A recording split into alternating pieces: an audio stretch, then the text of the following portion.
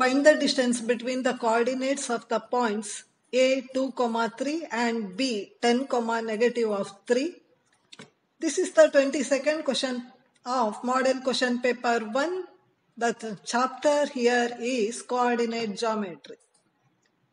What has been given here?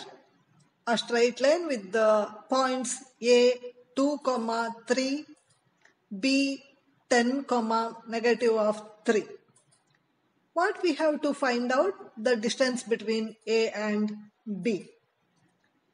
Here we have to use the distance formula square root of x2 minus x1 the whole square plus y2 minus y1 the whole square.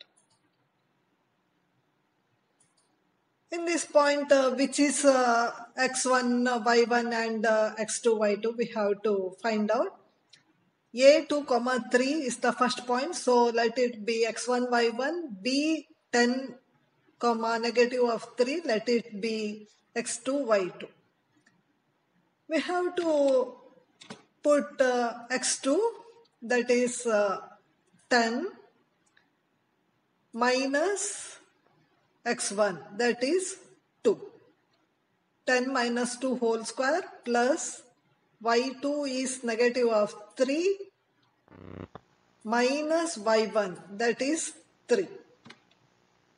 So in the next step we can operate 10 minus 2 the whole square plus negative of 3 minus 3 the whole square. 10 minus 2 is 8 and uh, minus 3 minus 3 is minus 6. So 8 square plus minus 6 the whole square. 8 square is 64 minus 6 the square is 36.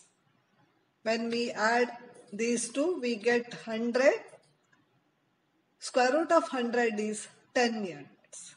So the distance between the points A and B is 10 units.